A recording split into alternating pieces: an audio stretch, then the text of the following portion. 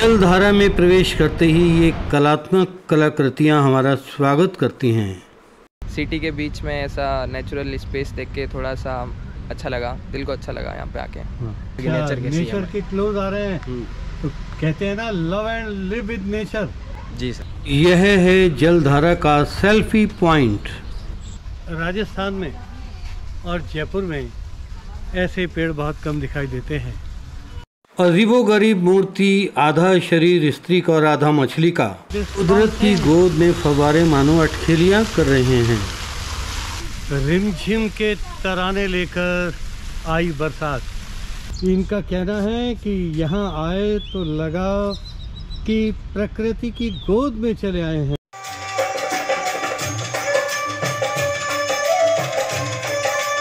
दोस्तों क्या आप जयपुर की भीड़ भरी ज़िंदगी और शोर से कुछ उकता से गए हैं। तो चले आइए कुदरत की छाँव में जलधारा गार्डन देखने के लिए। यह खूबसूरत पार्क, जवाहरलाल नेहरू मार्ग पर स्थित है। इसके पास ही है शिक्षा संकुल का गेट। आइए जाने यहाँ बोर्ड पर क्या लिखा है। मित्रों, हम आए हैं जयपुर के जलधारा पार्क में और यहाँ पर लिखा भी हुआ है यह पर्यावरण मैत्री क्षेत्र है। इको फ्रेंडली इस पार्क में प्रवेश करते ही कुदरत के द्वारा गढ़े गए पत्थरों की खूबसूरती पर मन मोहित हो जाता है। यहाँ लिखा भी है जे डी ए जलधारा।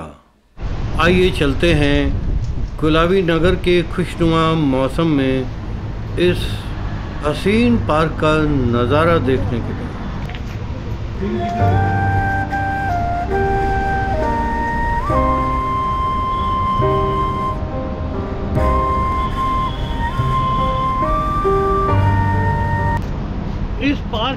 एंट्री फ़ीस है, तीस रुपये ये देखिए, तीस रुपये का टिकट लीजिए और पार्क का मज़ा लेने के लिए चलिए।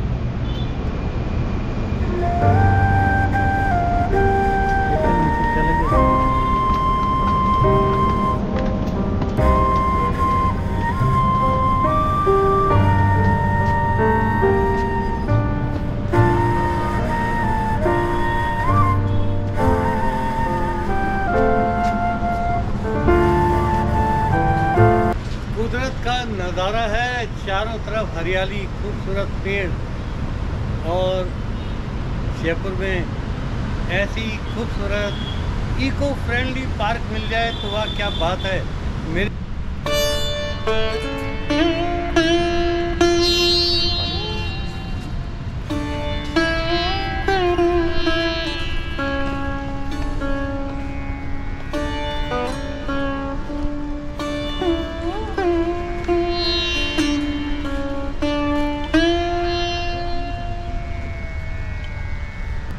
यहाँ आए तो पार्क के नियमों का पालन कीजिए, वरना पेनल्टी के लिए तैयार हो जाइए। Pets are not allowed here. दोस्तों, जब तुम भीड़ और शोर से परेशान हो जाओ तो यहाँ चले आना। हरे भरे दरख्तों की छाँव में, फूलों की खुशबू में तो आपको यहाँ शांति का एहसास होगा। प्रेमियों के लिए यह दरख्त और लताएँ कामदेव और रति से कम खूबसूरत नहीं हैं। युवा दिल की धड़कनों को यहाँ आकर अपनेपन का एहसास होता है।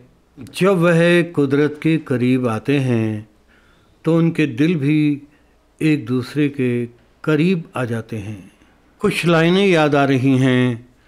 खुशबू बनकर तेरी सांसों में समा जाएँगे, सुकून बनकर तेरे दिल में उतर जाएँगे।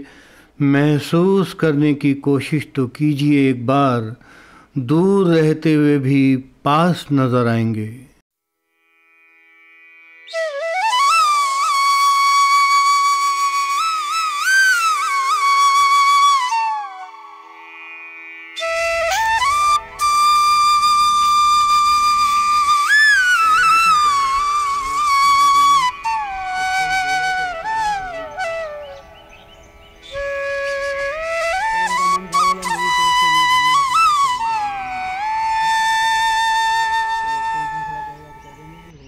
दोस्तों, आपने मरमेड अर्थात जलपरी के बारे में सुना है?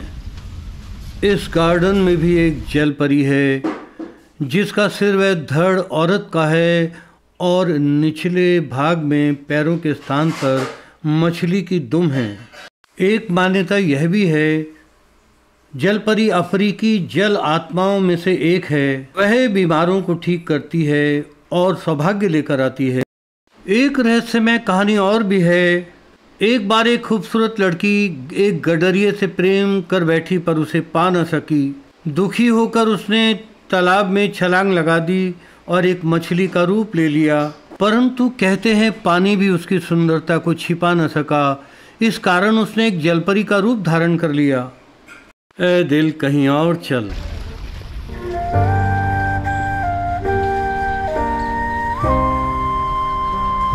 यहाँ बहुत से सेल्फी पॉइंट हैं, उनमें से एक पॉइंट यह भी है।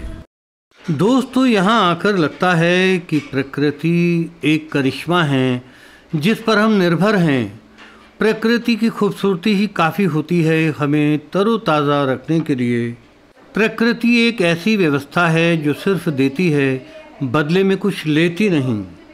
माना कि गुलाबी शहर जयपुर खूबसूरत है, लेकिन जलधारा की सुंदरता, फूलों की मीठी खुशबू और ताज़ी हवा के एहसास की तुलना किसी से नहीं की जा सकती। कुदरत के इस करिश्मे को हम भले ही काटे, छाटे, लेकिन ये करती हमेशा हमारी रखवाली है। यहाँ हमारी मुलाकात कुछ नौजवान दोस्तों से हुई, जो यहाँ की खूबसूरती देखने के लिए आए हैं। सबसे पहले तो आप ना परिचय दीजिए। सर मैं तरुण हूँ राजस्थान जयपुर से ही हूँ। अच्छा तो आपको यहाँ की प्राकृतिक खूबसूरती कैसी लगी? बहुत ही आकर्षित प्रकृति है यहाँ की। हाँ हाँ। और बहुत ही सुकून मिलता है यहाँ के पानी झरना वरना और शांति प्रिय माहौल है यहाँ का। अच्छा। बहुत ही बेहतरीन शांति है। जी।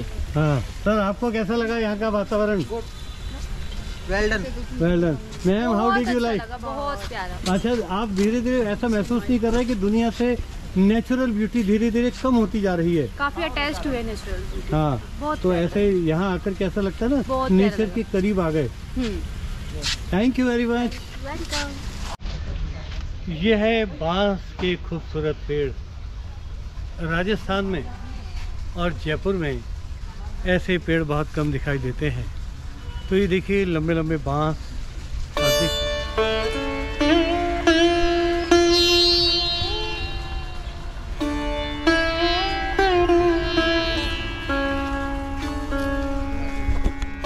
लगता है कि ऐसा लगता है कि कुदरत की गोद में आ गए हैं और जयपुर में ऐसी जगह मिल तो जाए। हमने कभी देखा ही नहीं। क्या बात है? इस फव्वारे को देखा तो कॉलेज के दिनों में एंड्रयू मार्वल की द गार्डन कविता की कुछ लाइनें याद आ गई। यहाँ एक बहते फवारे के पास आराम करते हुए या एक फल के पेड़ की काई भरी जड़ों में बैठकर मेरी आत्मा एक पुराने जैकेट की तरह मेरे शरीर को उतार कर शाखाओं में उड़ सकती है। बच्चों के लिए स्लाइड्स हैं पर बच्चे हैं कहाँ? यहाँ कुछ दोस्तों से मुलाकात हुई जो जलधारा की खूबसूरती को देखने के लिए आए हैं। सबसे पहले हैंडसम बॉयज़ आप अपना परिचय दीजिए आपका शुभ नाम? Hello my name is Shubham मेरा नाम अनिल विष्णोई है। राकेश खिलेरी। तो आप बताइए ये यहाँ की नेचुरल ब्यूटी आपको कैसी लग रही? है हमको बहुत अच्छी लगी। यहाँ पे सिटी के बीच में ऐसा नेचुरल स्पेस देख के थोड़ा सा अच्छा लगा। दिल को अच्छा लगा यहाँ पे आके। हाँ। आपको नहीं लगता कि धीरे धीरे नेचर खत्म होती जा रही है? बिल्कुल सर होती जा रही है। सीमेंट के जंगल बढ़ते जा रहे हैं और पेड़ कटते जा रहे हैं। लेकिन जयपुर जैसे शहर में इतनी खूबसूरत जगह यहाँ की फिजाएँ हैं यहाँ का वातावरण है। जी सर। तो आप यहाँ जो जल धाराएँ हैं हम्म। पानी के फव्वारे हैं हाँ उनके लिए क्या कहना चाहेंगे? जी अच्छे फुहारे लगे हैं और जो है नेचर उसके क्लोज आ रहे हैं लोग जो घूमने आएँगे तो उनको पता चलेगा कि अच्छा, नेचर कैसी नेचर के क्लोज आ रहे हैं। हम्म, तो कहते हैं ना love and live with nature. Ji sir that's good yes how did you like this beautiful natural beauty अच्छी लगी? अरे ये बोल नहीं पा रहे हैं। तो मुझे वो लाइनें याद आ गई। शब्द तो शोर है शराबा है। भाव सागर में घुलता हुआ बताशा है। अरे दिल की बात होठों से भले ही ना कहो। ये नज़रें ही प्रेम की भाषा है। खतरनाक। क्या बात है क्या थैंक यू अंकल जी दोस्तों, इस गार्डन में घूमने और देखने के लिए बहुत खूबसूरत वातावरण है। मैं जानता हूँ, आप जब डेढ़ दो घंटे यहाँ घूमेंगे तो थक तो जाएँगे ही। लेकिन, यदि थकने के बाद गर्मा गर्म चाय या कॉफ़ी मिल जाए और भूख मिटाने के लिए कुछ नाश्ता मिल जाए तो मज़ा आ जाए। यहाँ रेस्टोरेंट भी है जो बहुत ही वाजिब दाम पर हमें खाने पीने की वस्तुएँ उपलब्ध कराता है। राहुल चौधरी और ऋषिराज चौधरी को बहुत बहुत धन्यवाद। इन्होंने हमारे इस ब्लॉग को बनाने में बहुत बड़ा सहयोग दिया। धन्यवाद।